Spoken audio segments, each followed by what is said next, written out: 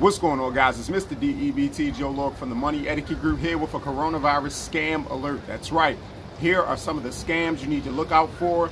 People are being uh, taken as fools for money. Our elderly, they're being preyed upon. Young people, so many people are being taken advantage of, and I need you guys to really take heed to some of these warnings and look out for these scams because they're fooling people and people are losing money. They're being taken from their identity is being taken from them. All of their private information is being taken. Listen up, okay?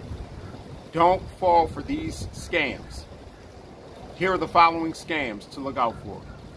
Number one, anyone saying they have ventilators for sale.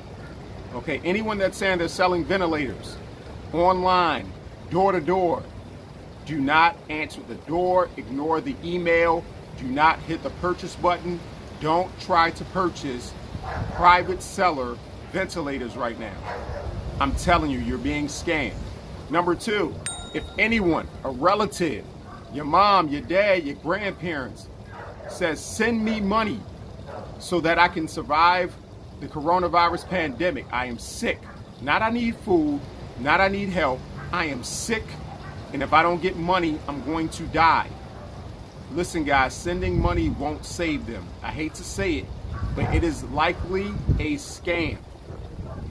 That's not the way to help people by sending them money so that they can survive the coronavirus pandemic. If they have the virus, they're infected and they're sick, they need to get the help of a medical professional, not money. We can deal with insurance costs and things later. That's for survivors. But speaking on that, number three, people who say I can't pay my medical expenses related to coronavirus. I was infected, I've survived, and I need help with the bills.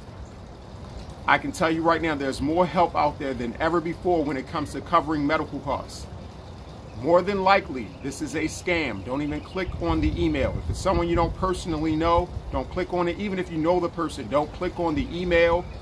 Don't do anything. Maybe contact the person, but don't fall for this scam.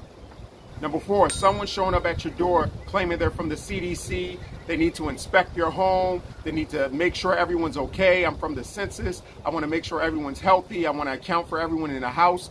That is not happening. People are not going door to door for census counts. The CDC isn't sending anyone to your house to make sure you're infected or healthy.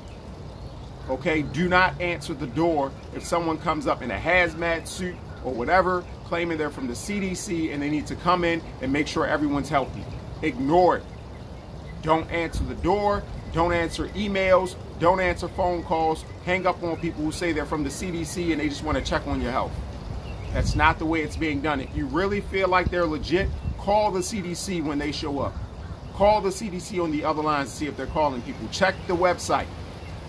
Validate before you allow people to have access to your home or your private information. Also, if anyone's claiming that they're a financial guru and they can put you in an investment right now that's going to make you a ton of money, ignore that right now too, okay? We're going through a pandemic and a recession. We don't have time for that. You can get back to that later. Ignore it. It's likely a scam. Number six, look out for fake bill collectors. There are a ton of people out here who are saying that they're bill collectors. You owe some money. They want you to pay. This is the same scheme that goes on time and time again. They're saying that the they're from the IRS. You're going to be sued. You're going to be taken to court in the next week. We all know that's not going to happen. Don't listen to any of these threats. Anyone that's illegitimate, just saying, collect, I need to collect money. In fact, if a real bill collector calls you right now, just tell them there's a pandemic going on and I can't pay anyway. Talk to you when the pandemic's over.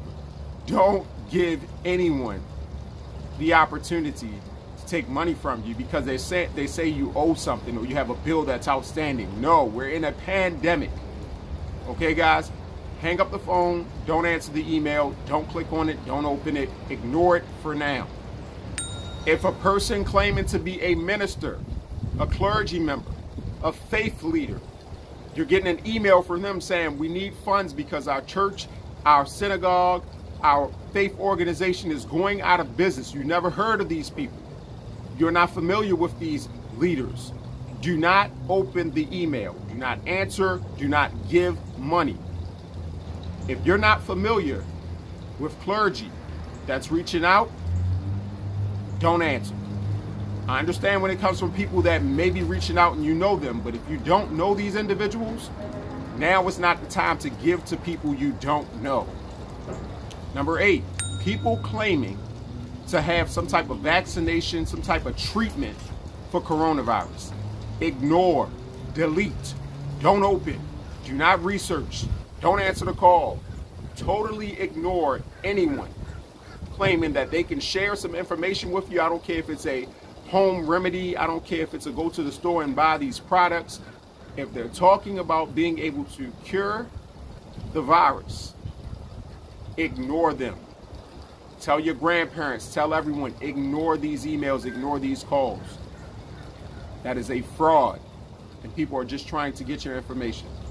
Lastly, if someone is calling claiming to be from your mortgage company, from your bank, from your credit card company, and they have not called from that number before, and they don't know your information, they might know your name and your last four of your social, but they really don't know about you.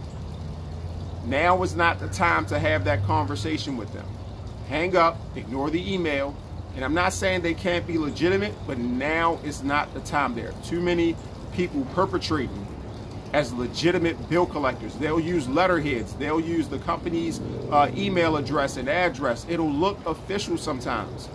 But if it doesn't come from the same place that it's been coming from, in terms of text messages, in terms of phone calls, in terms of emails, the same place that it's come from, for the last year, the last six months, the last eight months, if it's all of a sudden a different address, a different web address, a different email address, a different phone number, guys, it's likely a fraud. Ignore it. Don't open the email. Don't get scammed right now. I mean, people know that we're home. They want to get your money. Look out for scams. Also, guys, look, add other scams in the comment section. There are thousands going on right now. The more that people know about them, the better. Let's share this. Let's make sure that our elderly community is aware. Let's make sure that our young people are aware. Let's make sure everyone's aware right now because we don't, the last thing that we need right now is a situation where people are losing money because they fell for a scam. All right, guys, subscribe to the channel. You know we talk about more than the coronavirus. We talk about financial literacy. We talk about things that are helpful to the community when it comes to financial freedom. I appreciate your support. You guys have a good one. Stay safe.